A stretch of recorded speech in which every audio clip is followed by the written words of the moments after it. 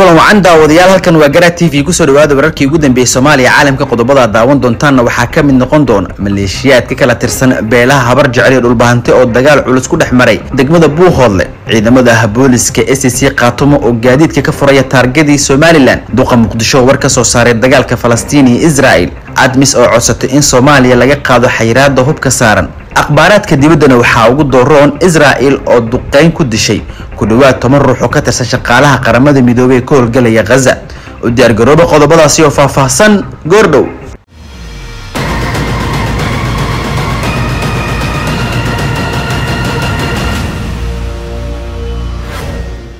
aynu ku bilowno qodobka ugu horreeya ee warkeena maleeshiya ka kala tirsan beelaha habar jecel iyo dhulbahante ayaa dagaal khasaare sababay. Waxaa la soo wariyey inuu ku dhex maray saake deegaan ka tirsan magaalada buuhoodleh oo labada beelood ay wada degaan. Dagaalkan oo bilaawday salaadii subax kadib hadda waxaa u muuqdaa mid istaagay waxaana labada beelood ee halkaasi dega uu dagaalkaasi ku dhex maray in in muddaha ay wada deganaayeen gobolkaasi iyadoona dagaalka uu si toos uga dhacay meel qiyaastii soddon kilomitir u jirta magaalada buuhoodle. Xogaha aynu helina ayaa xaqiijinaya in maleeshiya hubaysan oo dhalinyaro u badan oo ah beesha habar jeclo ay saaka subaxdii hore weerarka ku qaadeen deegaankaasi. Intaasi kadibna waxay rasaas ay fureen ay sababtay dhimashadii dhaawac waxaana intaa kadib bilaabatay dagaalka warar hordhac ah aynu helina ayaa xaqiijinaya in ilaa iyo dhimashadu ay marayso saddex qof dhaawacun uu ka badan yahay. Labada beelood ayaa isku adeegsanaya hubka kala duwan oo ay ku jirto xitaa tigniko cid ilaa ay hadda soo kala dhex gashay isla mar ahaantaana qaboojisay ma jirto dagaalkaasi. Duulaankan ay qaadeen dhalinyarada habar jeclo gaar ahaan solomadow beesha lagu magacaabo ayaa u muuqda mid aargudasho ah oo ka dambeeyey kadib markii dhowaan maleeshia dhulbahanto ah gaar ahaan axmed garaad ay weerar ku qaadeen magaalada qorinugud halka waxaa hadda u muuqdaa weji qabiil inuu mar kale dib uga qarxi karo dagaal la isku adeegsado hubka noocyadiisa kala duwan gaar ahaan la sheegay inay dib ay ka reexayso somalilan maamulka s c khatum ayaa bilaabay in dhankiisa uu deegaanada ay deganaayeen oo dhan uu maamulkooda hoos geeyo waxaana isla sidaasi oo kale laga cabsi qabaa in dagaal uu dhex maro beelaha wadadega gobolka sanaag. Tanii markii uu bilowday dagaalka qaraar ee u dhexeeya somalilan iyo sidoo kale s c c. Waxaa marba marka ka dambeysa cirka isku sii shareeraya dagaalada saacad walba iyo xili walba ka dhacaya deegaanada ka tirsan gobollada sool sanaag iyo cayn kuwaasoo u dhexeeya beelaha kala duwan ee halkaasi dega. Weliba si gaara kuwa ka soo jeeda somalilan iyo beelaha kale dega goboladaasi ee dhulbahante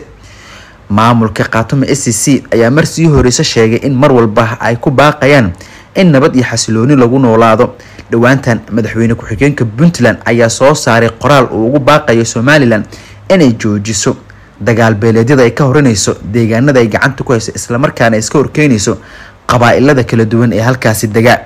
iyadoona dhinaca kale somalilan oo jawaab ka bixinaysa ay sheegtay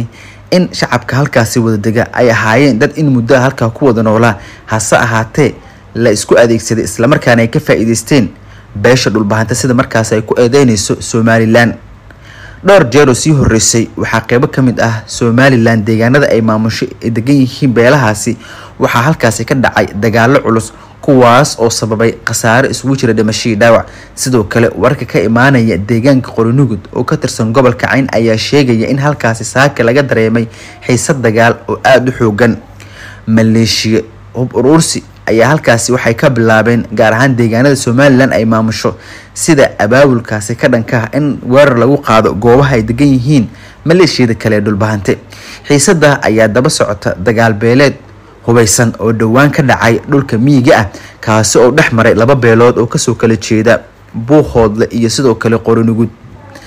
wararka ayaa tilmaamaya in xiisada uu gadaal ka riixayo taliska muuse biixi oo raadinaya inuu colaad hor lagu ka abuuro beelaha labada dhinac sida markaasi ay sheegeen dadka falanqeeya siyaasadda dhinacyadaasi dagaalkii dhowaan ka dhacay magaalada laascaanood ee xarunta gobolka sooli somalilan halkaasi looga soo saaray waxa uu sababay khasaare kala duwan. Ilaa hadda dagaalkaasi cid mas'uuliyadeeda si toosa u qaadatay ma aysan jirin. Dadkii halkaasi lagu laayay cid kasta waa iska fogeynaysay somalilan ayaa sidoo kale waxaa lagu eedeeyay inay halkaas xasuuq baan ay ka geysatay. Iyadoo sidoo kale dhankeedana somalilan qaatumo ku eedeynaysay inay xasuuq ay ka geysteen deegaanadaasi. Hase ahaatee golaha ammaanka ee qaramada midoobay ayaa waxay si rasmi a u shaaciyeen in la soo gaarsiiyey qaraar ka dhan ah somalilan kaasi oo muujinaya in xasuuq baan ay ka geysteen. Gobolka sool gaar ahaan magaalada laascaanood iyo deegaanada ku xeeran oo ay ku laayeen dad shacab ah sida markaasi kulan golaha ammaanka ay iskugu yimaadeen ee ka tirsan golaha qaramada midoobay waxaana ay sheegeen golahu in somalilan lagula xisaabtami doono tacadiyada ay halkaasi ka geysatay iyadoo beegsanaysay goobaha ay degan yihiin dadka rayidka ah iyo sidoo kaleeto xarumaha waxbarashada isbitaalada iyo guryaha shacabkaba. Sidaasi ayaa lagu yiri qoraal ay goordhow soo saartay golaha ammaanka ee qaramada midoobay sidoo kalena ay ku cambaareynaysa tacdiyada somalilan ay had iyo jeer ka geysanayso gobollada sool sanaag. Waxaana loogu baaqay madaxda sare somalilan inay joojiyaan falalka guracan ay ka wadaan deegaanadaasi maamulka khatuma state ayaa bilaabay in taargooyinka somalilan laga leeyahay ka furaan gaadiidka ka shaqeynaya gudaha magaalada laascaanood ee xarunta gobolka sool iyo deegaanada kale hoos yimaada gobolkaasi. Saraakiisha ciidanka nabadgelyada waddooyinka ee maamulka khatuma oo warbaahinta la hadlayay ayaa sheegay inaysan marnabo u dulqaadan doonin in gaadiidka kala duwan ee ka howlgelaya gobollada sool sanaag cayn aysan isticmaali karin taargada ay leedahay somalilan islamarkaana wixii hadda ka dambeeya ay soo saari doonaan taargooyin ay leedahay khaatuma kuwaas oo si rasmi ah gaadiidka loogu dhejin doono. Tilaabadan ayaa noqotay mid ay cabsi badan ku abuurtay gaadiidleyda kala duwan ee iskaga kala goosha. Gobolada kala duwan ee soomaaliya sida deegaanada somalilan puntland iyo sidoo kaletaba deegaanadii u dambeeyay dagaaladu ay ka dhacayeen ee khaatumo khaatumo ayaa tanii markii dagaal culus ay la gashay somalilan waxay iska fogeynaysay wax kasta oo ay leedahay somalilan iyadoo u arkaysay in caqabada ay ku noqon karaan islamarkaana aysan dooneynin waxay somalilan leedahay. Sida markaas ay sheegeenba saraakiishu hogaamiyaha khaatumo oo dhowaanahan ku sugan magaalada muqdisho ayaa dardar gelinaya kulamo uu lala yeelanayo madaxda sare ee dalka kaasi oo ku aadan sidii somalilan ay mar kale weerar aysan ugu soo qaadi lahayn deegaanadaasi. Haddii ay dhacdana inay diyaar u yihiin inay iska caabiyaan sida markaasi uu sheegay. Somalilan iyo khaatumo dagaalkii halkaasi ku dhex maray waxa uu dhaliyay khasaare kala duwan oo sababay dhimasho iyo dhaawac iyo burbur hantiyadeed. Waxaa sidoo kale dagaalkaasi ku barakacay dad rayid ah oo ilaahay hadda ku dayacan. Banaanka magaalada iyo deegaanada kale u dhow magaalada laascaanood iyagoo weli ka cabsi qaba in weerar rogaar celis ah ay somalilan ku soo qaado magaaladaasi. Maadaama hadda somalilan ay wado qabanqaabadii ugu dambeysay dagaal culus ay ku qaadi karto magaalada laascaanood iyo deegaanada kale hoos yimaada iyadoona baaqiyo ka soo baxaya beesha caalamka iyo dowladda federaalk ku aadan in somalilan ay joojiso. Hub uruursiga ay sameysanayso ku aadan in mar kale ay weer ay ku qaado magaaladaasi laascaanood oo ah magaalo ay ku nool yihiin dad rayid ah. Muuse biixi ayaa dalbanaya hub culus gaadiid dagaal iyo sidoo kale taba tababaro ciidan. Si ciidankiisu ay u noqdaan kuwo qalabeysan oo ku filan inay ka hortagaan cid kasta oo kaga hortimaada jiidda dagaalka. Somalilan ayaa rajo weyn ka qabta inay mar uun dib u soo ceshan doonto magaalada laascaanood ee xarunta gobolka sool iyo deegaanada kale iyadoona wada dadaaladii ugu dambeeyay ku aadanaa kasbashada halkaasi. Waxay sidoo kale somalilan sheegtay in hub iyo sidoo kaleba dagaal ay ku qabsan doonto magaaladaasi aysan dhammaatay xal wada hadal ah maadaama ay horey u diideen khaatuma in wax walba oo tabasho ah lagu dhameeyo miiska. Atmis ayaa codsatay in soomaaliya laga qaado xanibaada hubka ee saaran. Maxamed elmi amiin ayaa sheegay in ciidamada soomaaliya aysan u baahneen keliya tababar balse ay u baahan yihiin qalab xirfado ay u helaan saraakiisha iyo in la qaado xayraada hubka si dalka ay u iibsan karaan hub culus oo ay kula dagaalami karaan cadowga sida markaasi uu sheegay. Waraysi uu siiyey v o a soomaali ayaa waxa uu ku sheegay in soomaaliya ay leedahay ciidan da-yar ah ayna beesha caalamka mas'uuliyad ka saaran tahay inay taageeraan hub rasaas iyo aqoon xirfadeedba ay si wada jira u siiyaan ciidankaasi da-da yar. Waxaad aragtay waxaa ka dhacay israa'el arrinta u dhexaysa xamaas iyo israa'el deg deg ayay saaxiibadooda oo mareykanka ku jiro ay u qaateen. Go'aan ah inay ku taageeraan israel wax walba ay awoodi karaan. Marka ay noqoto hub iyo rasaas ayuu yidhi isaga oo soo xiganaya dagaalka israel iyo xamaas kaasi oo dhaliyey in mareykanka uu maamulo gudahooda ku diro gargaar military oo deg deg ah. Waxaan u malaynaynaa in soomaaliya ay hadda la tacaalayaan cunaqabateen in ay tahay in la qaado xayiraada saaran. Waxa uu sheegay in qaar ka mid ah dalalka ciidamada u soo diray soomaaliya ay ogolaadeen in ciidamada soomaaliya ugu deeqi doonaan qalab baabuur iyo qoryo marka ay dalka ka baxaan bisha diseembar ee sanadka laba kun afar labaatanka. Waxa uu xaqiijiyey in golaha nabadda iyo ammaanka ee qaramada midoobay uu saxiixay. Codsiga soomaaliya ee ahaa in muddo saddex bil ah la hakiyo. Bixitaanka saddex kun oo askari oo nabad ilaalin ah si rasmi ahna dib loogu dhigay saddex bil si ay uga sii qayb qaataan howlgallada ka soconaya gudaha dalka soomaaliya gaar ahaan midka lagula jiro dhaqdhaqaaqa al-shabaab dowladda federaalk ee soomaaliya ayaa gudaha dalka gaar ahaan gobollada mudug galgaduud hiiraan iyo shabeellaha dhexe ka bilowday. Dagaal ka dhan ah dhaqdhaqaaqa al-shabaab waxay dowladdu sheegtay in dagaalkaasi ay dooneyso in guud ahaan looga saaro deegaanada ay al-shabaab kaga sugan yihiin. Dagaalkaasi xoogiisa ayaa si rasmi ah uga bilowday markii hore gobolka hiiraan shacab is-abaabulay oo ka carooday dhibaato loo geystay dadkooda ayaa waxaa weeraro culus ay ku qaadeen deegaano ay ku sugan yihiin dhaqdhaqaaqa al-shabaab iyadoona dagaalku uu noqday mid isku xiran. Gobolka shabeellaha dhexe ayaa midka halamidow ka bilowday waxaana maanta oo u dambeysay al-shabaab laga qabsaday halka lagu magacaabo ciid ciidka oo muddo bil ah ay ku sugnaayeen islamarkaana ay go-doon ku ahaayeen halkaasoo ay ka qoteen godad waaweyn oo ay kaga dhuumanayeen hubka culus iyo sidoo kaletaba diyaaradaha dagaalka ay dowladdu adeegsanayso. Si kastaba ciidamada dowladda iyo dadka deegaanka ayaa markan u soo jeestay inay la galaan dagaal ka dhan ah dhaqdhaqaaqa al-shabaab ee ku aadan gobollada dalka. Madaxweynaha jamhuuriyadda federaalk soomaaliya xasan sheekh maxamuud oo laba bilood ku sugnaa magaalada dhuusamareeb ee xarunta dowlad goboleedka galmudug ayaa qabanqaabinayay dagaal ka dhan ah dhaqdhaqaaqa al-shabaab gaar ahaan gobolka mudug iyo galgaduud iyadoona la ogyahay intii madaxweynaha uu joogay halkaasi shabaab laga qabsaday deegaano hor leh oo ka tirsan gobolkaasi. Waxaana labadaasi gobol la sheegay in goobo muhiim ah al-shabaab laga saaray oo in muddo ah halkaasi ay ku jireen sida markaa ay sheegeenba. Saraakiisha ciidanka dowladda federaalk ee soomaaliya beesha caalamka iyo sidoo kaleetaba waddamada taageera soomaaliya ayaa mar marka dambeysa dowladda ku ammaanaya dagaalka ay kula jiraan al-shabaab iyo guulaha laga soo hooyay kaasoo ay ku tilmaameen mid mar walba ay ku taageerayaan haddii ay yihiin beesha caalamka. Dadaalka ay wado dowladda federaalk soomaaliya soo celinta nabadii xasiloonidii lagu yaqaanay soomaaliya gudoomiyaha gobolka banaadir ahna duqa magaalada muqdisho yuusuf xuseen jimcaale madaale ayaa ka hadlay dagaalka u dhexeeya ciidamada israel iyo dadka reer falastiin ee ka socda aagga magaalada khaza dagaalka ayaa toddobaadkan sii xoogeystay kadib markii ururka xamaas ee falastiiniyiinta uu weerar lama filaan ah ku qaaday magaalooyinka israel ayna gaarsiiyeen khasaaro culus. Madaale ayaa dadka soomaaliyeed ugu baaqay inay garab istaag u muujiyaan reer falastiin islamarkaana ay u duceeyaan maadaama ay wajahayaan xaalad adag. Gudoomiyaha gobolka banaadir ahna duqa magaalada muqdisho ayaa shaaca ka qaaday in israel ay dhibaato ku hayso khaza islamarkaana ay go-doomisay sidoo kalena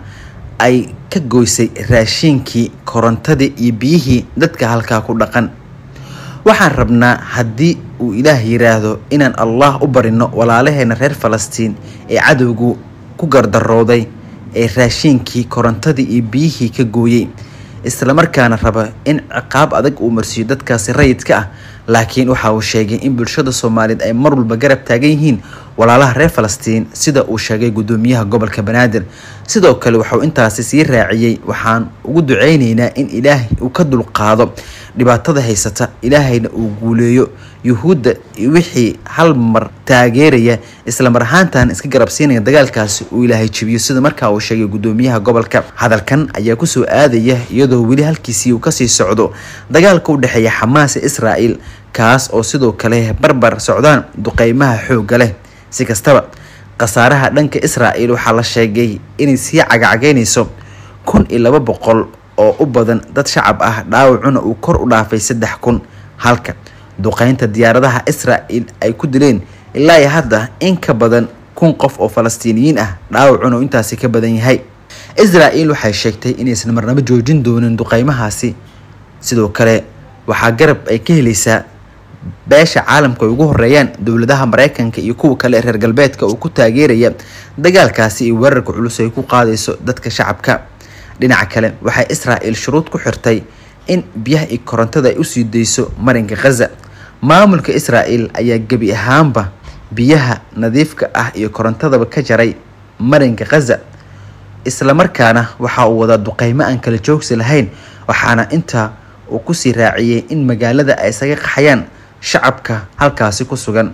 Isbitaalada iyo xarumaha caafimaadka ee ku yaalla magaalada khaza ayaa halis ku jira in koronto la'aan ay u xirmaan waxaana gabaabsi maraya shidaalkii ay isticmaalayeen isbitaalada magaalada ku yaalla wasiirka tamarta israel ayaa sheegay in go'aaminta ay go-doominta ay ku hayaan marinka khaza ay sii socon doonto. Waxa uuna shuruud uu ku xiray in biyaha iyo korontada loo fasixi doono khaza inta xamaas ay haystaan maxaabiis israa'iiliyiin ah. In aan korontada deyno islamarkaana biyaha aan furno waxay ku xiran tahay in la sii daayo maxaabiisteena ayuu yiri wasiirka tamarta maamulka yuhuudda qoraal uu soo saaray isagoo sidoo kale sheegay in dadka ay haystaan xamaas haddii ay soo dayn waayaan in ay jawaab deg deg ah ka bixin doonaan. Hase ahaatee xamaas ayaa sheegtay inay haysan doonto dadkaasi maadaama ay waddo dheer in muddo ah u soo maraysay soo qabashada xubnahaasi ka tirsan maamulka yuhuudda. Waxaana sidoo kale xamaas ay xasuuq baan u geysteen israa'iiliyiin badan oo ku sugnaa deegaanadooda ugu dambeyntiina israel ayaa duqeyn ku dishay ku dhawaad toban ruux oo ka tirsan shaqaalaha qaramada midoobay khaza sagaal ka tirsan shaqaalaha qaramada midoobay ayaa lagu dilay duqeymaha ay israel ka geysatay khaza tanii markii ay bilaabatay duqeynta sabtidii sidaasi waxaa arbacadii sheegtay hay'adda ka tirsan qaramada midoobay. Sagaal ka mid ah shaqaalaha gargaarka ee halkaasi ku sugan iyo saddex qandaraasle ah ayaa la dilay halka saddex macalin ay dhaawacmeen sidoo kalena waxaa la sheegay in dadka halka la dilay intooda badan ay wadeen gargaar dhinaca bini-aadanimada ah waxaana ilaa hadda aan la ogeyn sababta yuhuuddu ay u beegsatay dadkaasi. Waxay sheegtay in dhammaan dugsiyada ay gacanta ku hayeen hay'adahaasi gargaarka ee ku yaalla marinka khaza oo ay ku jiraan xarunta dhaqan celinta ee dadka aragga naafada ka ah iyo labada xarumood ee farsamada gacanta ee gaza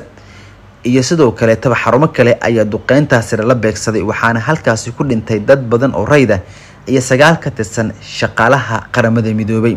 Labada dugsi oo ay gacanta ku haysay qaramada midoobay ayaa waxaa saameeyay duqeymaha cirka taas oo ka dhigaysa tirada guud ee dhimashada ay sameyneyso mar marka dambeysa korukac taa oo ku aadan in halkaasi ay deganaayeen dad rayida in ka badan kun iyo sagaal boqol oo qof ayaa lagu dilay rabshadaha oo ay ku jiraan ugu yaraan sagaal boqol oo falastiiniyiin ah iyo kun qof oo israa'iiliyiin ah sida mas'uuliyiintu sheegatay. Xamaas tanii markii ay weerar ku qaaday toddobaadkii aynu ka soo gudubnay dagaal culus goobaha ay gacanta ku hayaan maamulka yuhuudda. Yuhuuddu ayaa waxaay dhankoodu bilaabeen inay beegsadaan islamarkaana ay duqeyn arxandarre ay ka fuliyaan goobaha ay ku nool yihiin dadka rayidka ee marinka gaza iyadoona xarumaha caafimaadka halkaasi ay buuxdhaafiyeen dhaawacyada oo tirabeel noqday iyo sidoo kale burburka guryaha. Israel ayaa sidoo kale waxay adeegsanaysaa hub laga mamnuucay dunida in loo isticmaalo iyadoo aan u aabayeeleynin baaqyada iyo sidoo kaleetaba hadallada ka soo yeeraya waddamada caalamka ee ku aadan in israel ay joojiso duqeymaha ay ku beegsanayso dadka rayidka. Hase ahaatee xamaas waxay dhankoodu tilmaameen inay marnaba joojin doonin xasuuqa ay ku hayaan yuhuudda ilaa ay soo wareejin doonaan dhulka ay xoogga kaga haystaan falastiiniyiinta sida markaasi ay sheegeenba. Xamaas ayaa iyagu aada u hubeysan sidoo kaletana dhulka cirka iyo badda ka weeraray yuhuudda kuwaas oo cabsi badan ku abuuray guud ahaan yuhuudda magaalooyinka ay ku sugnaayeen. Mareykanka oo garab buuxa siinayay israel ayaa sheegay inuu saacad walba ka warqabi doono hub iyo saanadna u soo diri doono saaxiibadooda israel sida markaasi uu sheegay madaxweynaha dalka mareykanka john biden oo mar ka hadlayay dagaalka qaraar ee xamaas iyo israel ku dhex maray deegaano ay maamulaan maamulka yuhuudda sida uu sheegay biden. Guud ahaan waynagintaha warkeed kala socoteen garaa t v. Intayna ku kulmi doona warka kan sidaas iyo amaan allah